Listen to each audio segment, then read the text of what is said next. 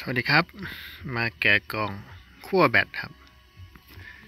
นี่ครับของเดิมขั้วแบตรถ Ford Ranger ปี 2017 ครับ เครื่อง 3,002นะครับฟิลเดิม มี 2 ตัว มันขาดแล้วครับ หมดอายุใช้มา 5 ปี แล้วก็รวมแล้วครับนี่รวมแล้วเอาไม้ยัดไว้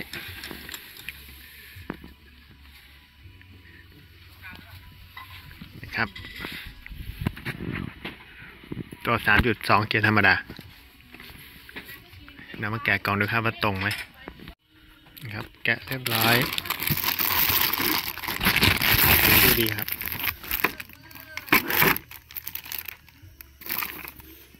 มาเทียบดู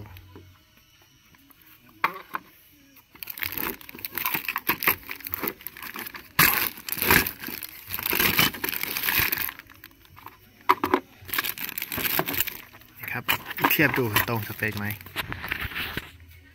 อ่า ฟิลตัวใหม่นี่สามร้อยครับ เทียบดูนี่ครับปลั๊กตำแหน่งนี้ก็ตรง ครับ น่าจะไม่มีปัญหาครับ เดี๋ยวผมลองใส่ดูแล้วก็ เดี๋ยวลองสตาร์ทรถ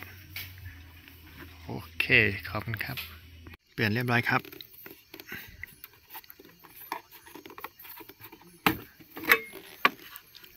พอ ดีเป๊ะ แต่จะมีขั้วตรงนี้ครับที่เปลี่ยนไปไหนล่ะนี่ครับ ของเดิม